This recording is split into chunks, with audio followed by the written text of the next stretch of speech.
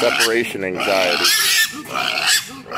Somebody wants to be with their friends. The friends are over there.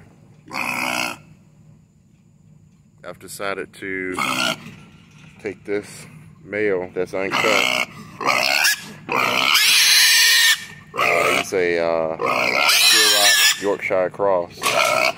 And uh, breed him with one of those females over there. And just have a separate, uh, a separate uh, bloodline from just the straight Yorkshires. He's not